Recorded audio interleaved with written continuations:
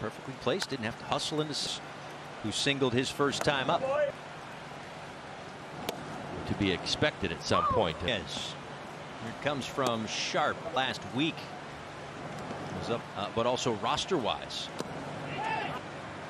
3 2 from Sharp. And Oh, a oh, oh. cold strike three, top of the zone. Slammed into the wall, missed a few games. Crew in the business, don't we? Yes. Pick up everything. Sometimes to a fault. I'm going to talk right over this before McNeil says. So. The thing that makes you nervous as a rookie is the Well, you have been throwing things at, at some of the young. guys we get a chance to get to the postseason conversation. Yeah. And, and again, that's why the focus is on the game at